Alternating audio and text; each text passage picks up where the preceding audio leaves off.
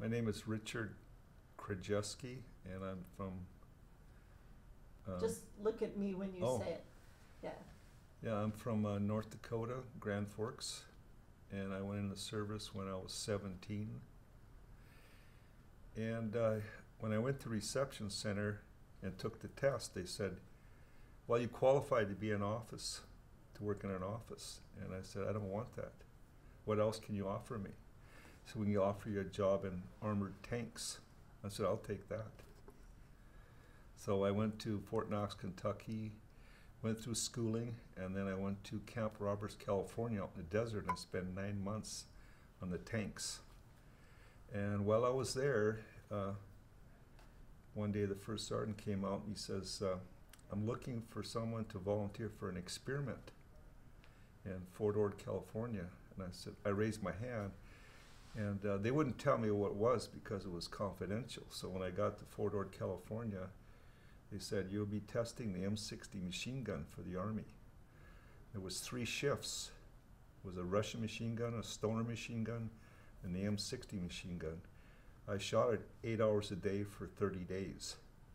Then I got orders to go to Vietnam, so I knew that weapon so well. I was going there as infantry, but one day they came out for volunteers to be a door gunner. And I raised my hand immediately before anybody else could. I, So- I am hearing his phone going off now. Oh, It is? The heck? Is there somewhere else I could put it maybe? Um, Here, I'll just give it to Cassie. She she's very good at holding on to Okay. things. Yeah, I'll hang on to it. Okay. I didn't Sorry. know it was that sensitive. yeah, those microphones pick up a lot. Okay, so anyhow, I went to Fort Ord, California, and I tested the M60, and then I got orders to go to Vietnam when I was still 17. I think it was like October of 64. And I arrived in Vietnam on my 18th birthday. It was 4:30 in the morning. I remember that because they just had a mortar attack. Then I volunteered for door gunner, and I went to the the 128th Assault Helicopter Company, and we started out as a brand new unit. We are all hand-picked, and uh, they take you up on a test flight. First, you had to have a combat MOS, which is infantry, armored tanks, or artillery, or airborne. And so, I uh, they take you up on the helicopter, and they'll bank it to the left or to the right, and they'll tell you to pop white smoke, yellow smoke, purple smoke, whatever. And then tell you open up with your guns, and you're sitting like this, almost looking at the ground. And the pilot would look back at you to see if you were frightened, and I give him a thumbs up, and so I qualified. so from that point on, I uh, was about within 20 some days. I spent roughly six days a week, 10, 12 hours a day on combat assaults. I got a day off per week most of the time. And then every 25 hours or every 100 hours, the ship went in for inspection. 100 hours of complete tear down, uh, 25 hours is a minimum te- tear down. So uh, I just went from unit to unit because everybody wanted the support of helicopters. So I worked with uh, Australians, all the different infantry units, uh, the South Koreans, uh, the Vietnamese Rangers, uh, SEAL teams, the Special Forces, uh, just every unit. I was, see, there was, I think there was four corps in Vietnam. I was in Corps Three, so all our operations were done in, in Third Corps.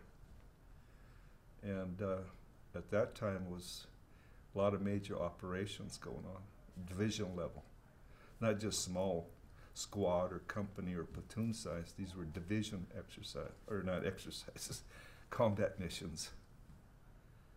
Uh, anything else you might add to that, or Um, if you could just give me very briefly your name, um, where you live now, and that you did two tours with the Army. oh, yeah, my name is Richard Krajewski, and I live in Grand Forks, North Dakota, presently, and I did two tours in Vietnam. The first tour was from December 13, 1965 through April 14, 67. Then I had a break in service, went back into the service, and got orders to go again. I was with the 25th Infantry my second time in May 1970 through 71. I was stationed in with the 25th Infantry in Cu Chi, which was the Iron Triangle before that. We cleared that out my first tour. It was nothing but jungle. Then the 25th Infantry moved in from Hawaii and set up their base camp there. And while I was there my first tour, I actually moved, helped move those guys in. And my second tour, I was assigned to there. So, Oh. Um, were, were you drafted or did no, you? I, uh, I volunteered. I, I guess you could say I was, uh, I, I like adventure.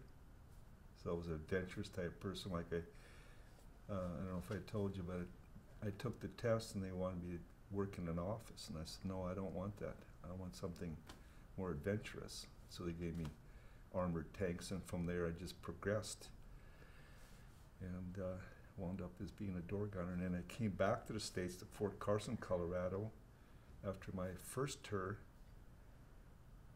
and spent one year in the infantry with the 5th Infantry Division.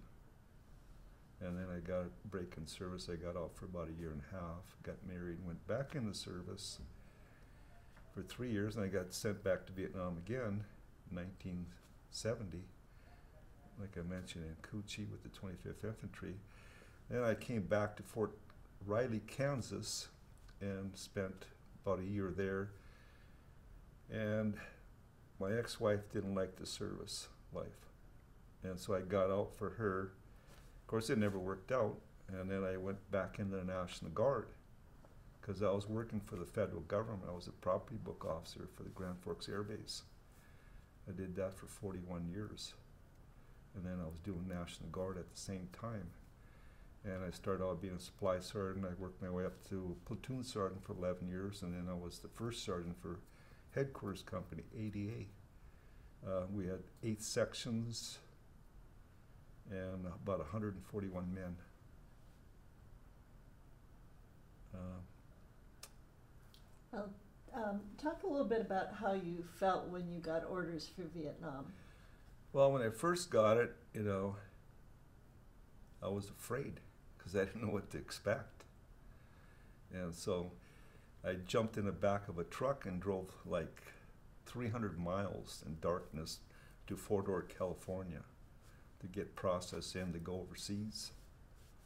And then when I got to Saigon Replacement Center, it was uh, 4.30 in the morning and we spent roughly five days until we got assigned to a unit that was short-handed because uh, there was so many Americans that got killed over there. It was over 58,000, I think, total.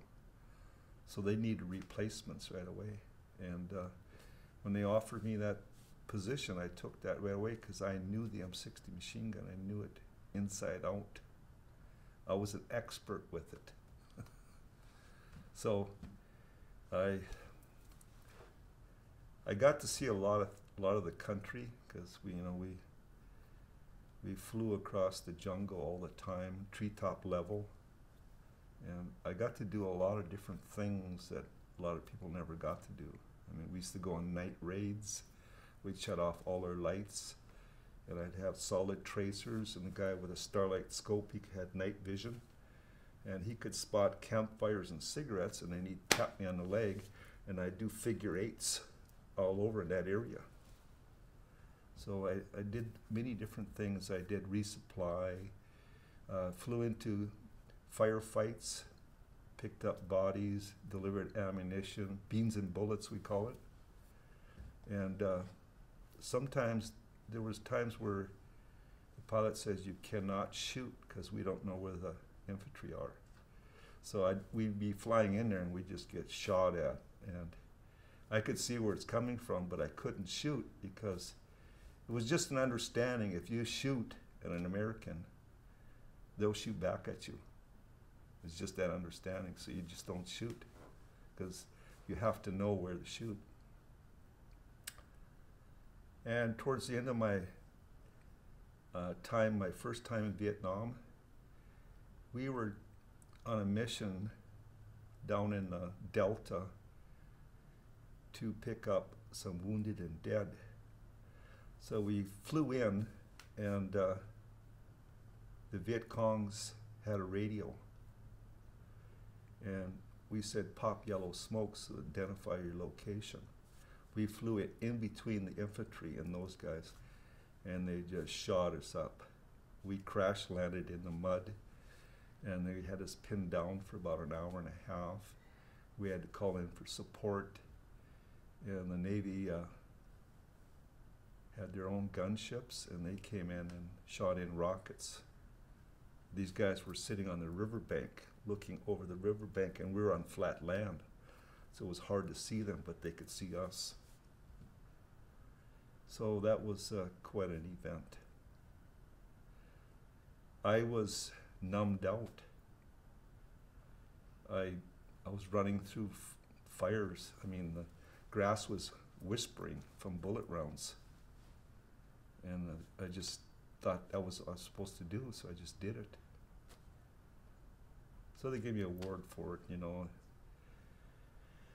But uh, I had a lot of different experiences over there. Seen a lot of different things. I mean, there's so many things that I just can't describe them all at one time. What's, what's, um, one of your most vivid memories? Uh, well, the viv- vivid one was when I got shot that day, shot down. We had 22 bullet holes, we called them, and our ship was inoperative, so we had to have it picked up with a Chinook, and you tie a, uh, pure, uh, a parachute at the end, so it stabilized, it doesn't spin around, and they hold it back to a base camp, and uh, they had to repair it. And I always remember my tail number, 1263987. Because every time you're talking on the on the radio, you have to talk with your the last three numbers, tail number 987. So we got to know each other's tail numbers by by their seal number. Uh, other than that, uh, every day was very eventful. I mean, there was days you get briefings by CIA. We used to have these guys called, uh, well, they said they worked for Bell Telephone. Uh, let's see, what was that? Uh, Bell uh, Helicopter Company, and they would come in with blue suits on, and they had silver helicopters, but we didn't know they were CIA. And they used to come into our commander's office and give us briefings. Then the commander would give us, well, not the commander, the pilots would give us briefings. They would brief all the pilots, and that morning they'd tell you we wore flak jacks plus chest protectors, and they could stop a 7.62 round. And so there's days when you wore that, and there's days it wasn't. And after a while, you got so used to it, you didn't even wear your chest protector because you're up in the air. I mean, there was nothing to stop anything you know so you got kind of used to it you get numb to it i think. You uh, you turn off your uh, compassion and empathy which are located up in here and you have to do that to survive. Because if you have empathy and compassion you probably get killed. You have to react within seconds uh, I don't, I don't, you know, there's so many other things that I, Yeah. I was on constant missions. I just, you know, for a year straight, I just constant missions.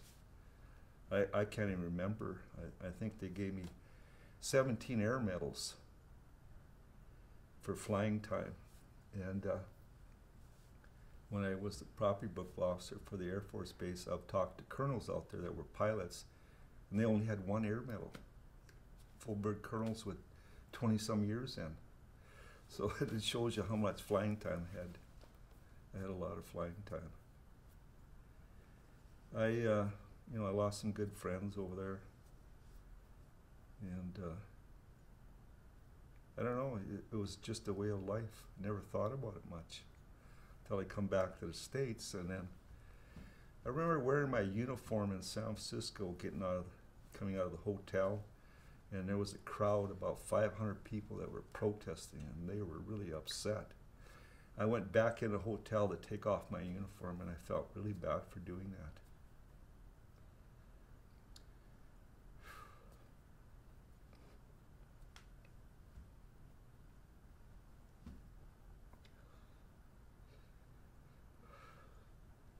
Sorry.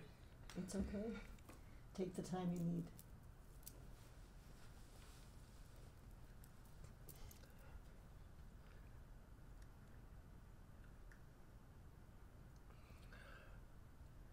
So then I went back home and I, I just felt isolated.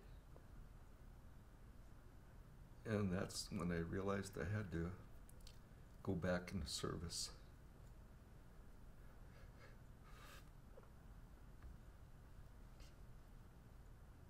You said your ex-wife. Do you want to take a sec? Pardon me? Uh, do you want to take a second? Here, we've got a tissue for you. Well, we, we got wound up being divorced because I wasn't very good having a relationship after that time in Vietnam because uh, I just spent all my time growing up being a soldier. And uh, you get, you know, we had a brotherhood because there wasn't that many door gunners and everybody stayed away from us. They were kind of afraid of us for some reason. The people that worked on the helicopters, the electronic people, and the maintenance personnel, they didn't want to come down in our area because that's all we did for a living. We just went out every day. And I mean, I just work with so many different operations that I have to go down the list. I don't know where to start. What'd you do on your day off when they gave Uh, you free time? Most of the time was like uh, get rested, or they had a small little post exchange store. We'd go and buy our cigarettes or whatever we needed, bathroom items, you know, and maybe chat a little bit and get ready for our missions. Really started out at three thirty in the morning. We'd pick up pathfinders, and we'd drop them off in darkness, and they would set up the landing zone, the LZ, for the next morning. Well, another couple hours, and we'd fly in and drop off the troops on assaults.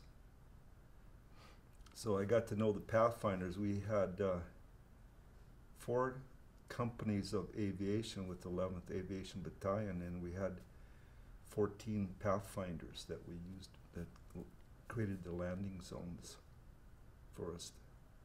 They would go in there and find all the stumps, blow them up, or any mines or anything like that. Uh, I don't know what else to say. When you when you enlisted the second time uh, and got orders to go back, um, mm-hmm. was it the same? Well, I was married at that time and I had two children, and uh, I went to the 25th Infantry, but I, as well, prior to that, I re-enlisted and picked a different job because I was going to try and make it a career. So I wound up working as a clerk because they said that's my highest score being a clerk. So I worked as a clerk with for the 25th Infantry and uh, you know, I was always thinking of my family at that time. I wanted to sign up because they had lots of opportunities to be a door gunner again, or they were looking for volunteers to work for the 75th Rangers. You know, that was a special assignment just to get that offered to you. But I turned it down. I just stayed what I did and did my tour, and then went back to the States. and I spent a year in Fort Carson in the hospital working in as a clerk there. And then I got out of the service because my ex didn't like the service life. It was just too much for her. It's kind of a domesticated person where I I wasn't really too domesticated. yeah. Uh, you you mentioned that um, you kind of came into contact with a protest uh, San Francisco. How did how did you feel about the anti-war? Well, I, uh, you know, I know it was all like college-based personnel that were doing this protesting, and I was uh, patriotic. The government told me what to do, and I did it because I thought we're supposed to prevent communism. And as as I got out of the service and it started escalating more and more, that we're just wasted our time in Vietnam. So kind of bothered me for a long time that we just went over it and wasted our time. When you've seen all these other people get injured and, you know, 50 some thousand, 58,000 some people got killed, it kind of bothered me, but then I realized how politics works. You know, because I was just a young lad. I wasn't quite, uh, I was nine, well, I was 20 years old when I got out of the service not quite 20 years old, my first tour. And I had spent 16 months my first tour over there. Then I had the break in service, you know. Yeah. That first tour was that's pretty long. Uh, Well, see what happened is my brother got stationed in Germany. And he was in armored tanks in Germany. He was drafted for two years. And uh, he had about eight or nine months to go. And I was just getting ready to go back to the States. And I found out that you can't have two brothers in a war zone. So I extended four months to prevent them from going over to Vietnam. So I was his older brother. And it's kind of funny, but he, uh, well, it's not funny, but he got shot out in the field exercise. This guy put a cleaning section rod down the barrel, and he thought it was going to bounce off his chest, and went through his chest and out his neck, and so he was in the hospital after that. I saved him from going to Vietnam, but then he got he got hit on the field exercise. So that's kind of the story. That's the reason why I extended. um, can you tell me the story again about your about your parents? Um, Oh, my parents, they were, uh, well, we migrated here in 1949. And uh, my parents had just both got out of Nazi prison camps. They were work camps. They spent four years there. So we came here as, with green card holders. And I carried a green card till I was 21 when I got naturalized on my second tour. My parents never talked about it. I couldn't get a word edgewise out of them. My dad was traumatized from the war. I, I never knew that when I was younger, but I, I understood it after I went through Vietnam, what he went through. Uh, and my mother, too. Uh, my mother and dad kind of kept away from everybody. We had a small family. I just had one brother. And uh, they just worked. That's all they did is work and go to church, work and go to church, take care of the garden, the yard, the house. And uh, they never were like outgoing type people.